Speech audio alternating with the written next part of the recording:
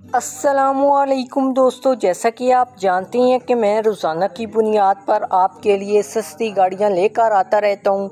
तो प्यारे दोस्तों, आज आपके लिए नहायत ही कम रेट पर कबाड़ वाली कीमत में ये गाड़ी बरए फ़रोख्त है। इस गाड़ी से मुतलिक तमाम तर तफसीलात आपको इस वीडियो में बताऊँगा। तो प्यारे दोस्तों, मज़ीद ऐसी और वीडियोस देखने के लिए आपने मेरे इस चैनल को कर लेना है लाजमी से सरक्राइब और इस वीडियो को कर दीजिएगा लाइक। अब बात करते हैं आज की इस गाड़ी की।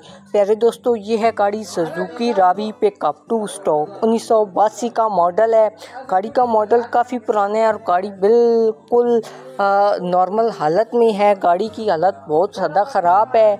आपको दोबारा से ये गाड़ी नई तैयार करवानी पड़ेगी। गाड़ी की, गाड़ी पेट्रोल पर चल रही है और रजिस्टर है जी। गाड़ी अंदर से जेनवन कंडीशन में है।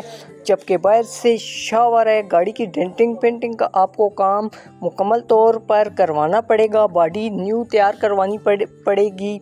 गाड़ी के टायर्स भी आपको नए लगवाने पड़ेंगे, गाड़ी का इंजन बेहतरीन कंडीशन में है, गिर ऐसा गाड़ी का बेआवाज़ है, मकैनिकल फिट है, कोई फॉल्ट नहीं है।